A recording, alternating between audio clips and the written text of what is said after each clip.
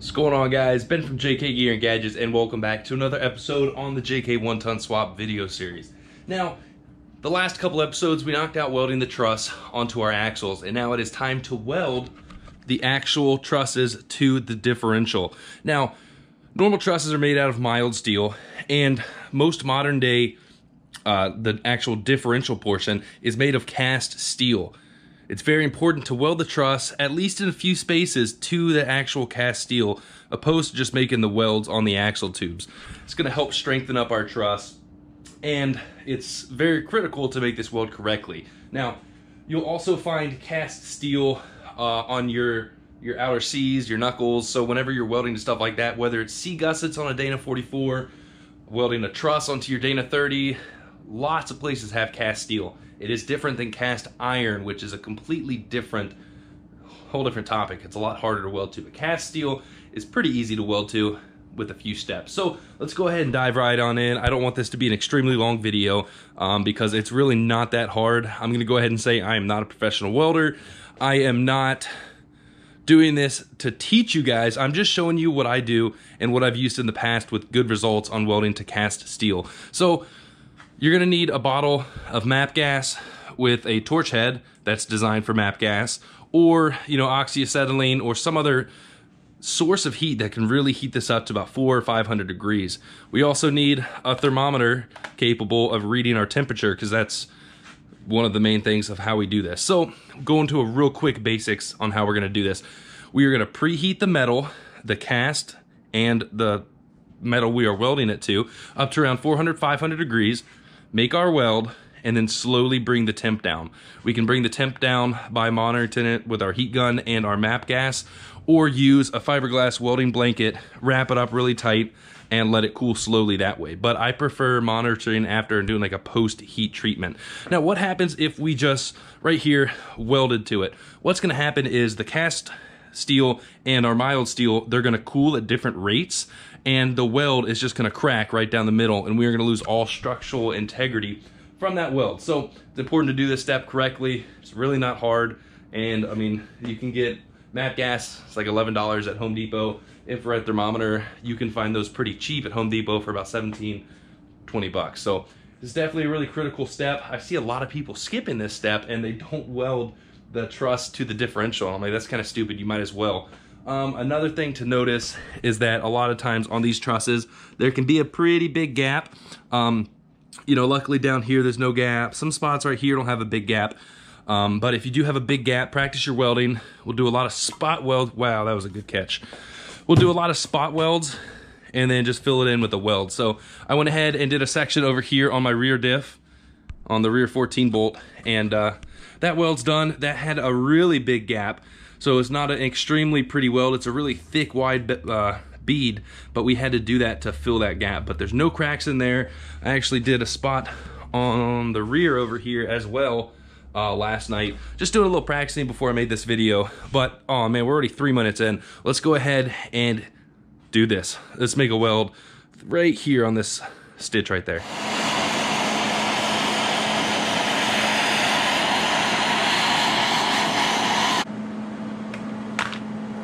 So what I'm doing, now that we're getting closer to the uh, the operating temp of 400, I'm going ahead and getting all my welding supplies ready, just so once it's actually at 400, we can start our welds. All right, we're looking pretty good. We're close to 400 degrees. So what I'm gonna do now is go ahead and make some tack welds all the way down this, just because the gap is pretty large, and having multiple tack welds will help us from blowing through the metal.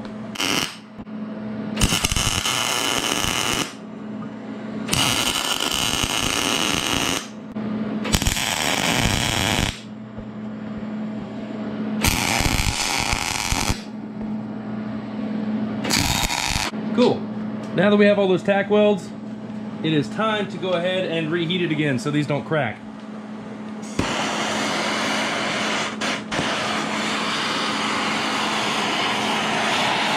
While it's still hot, we're gonna make a weld all the way down. Try to do it one continuous weld. I'm gonna back my GoPro up a little bit.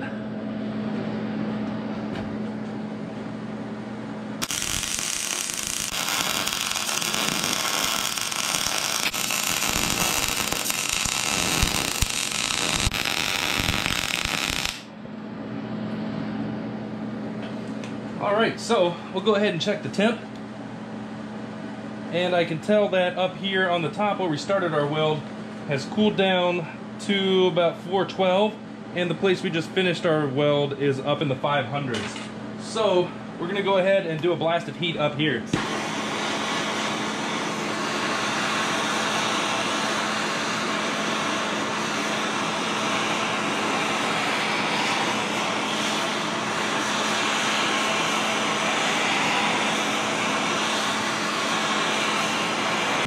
Go ahead and take a closer look. So like I was saying, since we are filling a gap, you're gonna have to do a nice thick weld. And let's check some of the temps here. Now, the cast is sitting at 350. The metal up here is a lot hotter right now because it absorbs the metal quicker. So what we're doing is going between, we're taking readings of the weld, our steel, and our cast steel. And we're gonna be just checking the differences between them and heating the lowest one up to kind of match the one up here just so they're not expanding and contracting or uh, now they are contracting at a different rate from cooling. So you don't want to start heating this up above what this is because then we're kind of defeating the purpose of a post heat.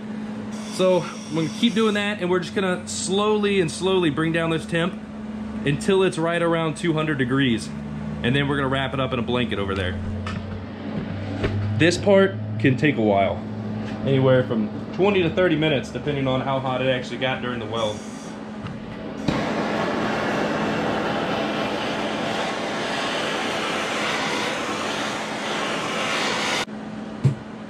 Now we are going to repeat doing this until it is cooled down to 200. So I'm going to go ahead and turn off the camera, but hopefully you guys get the gist.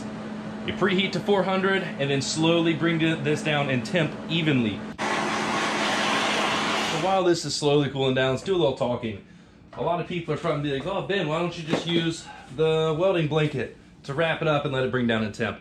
This is a fiberglass welding blanket. You can get them at Home Depot, uh, online, Amazon. I'll throw a link to it. Or your Harbor Freight uh, if you have one in town. They're like 20, 30 bucks, not too bad. But some people will make this weld after they preheat it and then wrap this baby up nice and tight and just let it sit for 12 hours and really slowly cool down personally, you can do this and finish up this weld within a matter of 30 minutes by doing the post heat treatment. I've, I, I don't like just wrapping this up and not knowing if it's gonna crack or not.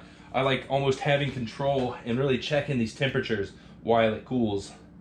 Plus, I don't wanna sit here and wait for this weld to cool down for 12 hours. I got stuff to do. But we're gonna check and we're still pretty good. We'll have to blast it with heat here in a few minutes.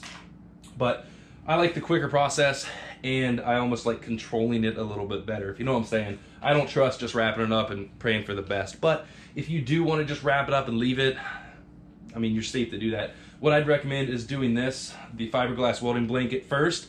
Go get some insulation or another big blanket and wrap that up too because these are pretty thin. Uh, these are fire resistant so you don't have to worry about the blanket burning up. But I mean, we only heated, heated it up to four or 500 degrees, so that's not too bad. Now, I did a really, really big weld here. On most diffs, you don't have to do all that. A little three inch weld up here, three inch weld down there, and over here would be more than enough.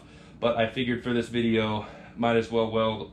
I was kind of, I was in the groove. I'm like, let's just weld it all up. I'll probably do the same down this side, weld the tubes here, and weld our tube, uh, our axle tube to our casting just because on the Super Duty we had to cut that back and we took off two plug welds and that's what holds the tubes inside the diff. So I really want to weld that back, but we're going to keep letting this cool. I'm kind of rambling on now, uh, but as you can tell, it's really not hard to do this. Uh, just preheat and post heat. You know, if you just went up and welded it, it's going to crack. You'll hear that ding, and I'm really hoping I don't hear that on this one because if the weld cracks, you can grind it down, weld it again, try try the process again. One thing I'd recommend is having an extra can of MAPP gas with you I got one somewhere over there on the shelf, just in case during this post heat treatment, if we run out of gas we're like, crap, don't crack, we just go and get more gas and keep heating it up. So let's check our temps.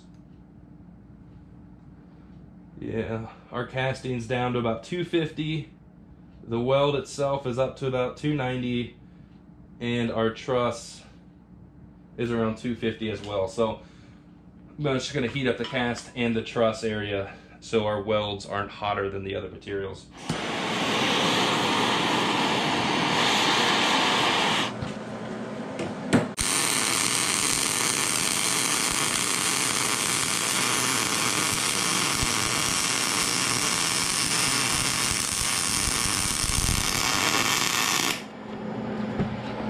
All right, well, our axles are fully welded completely.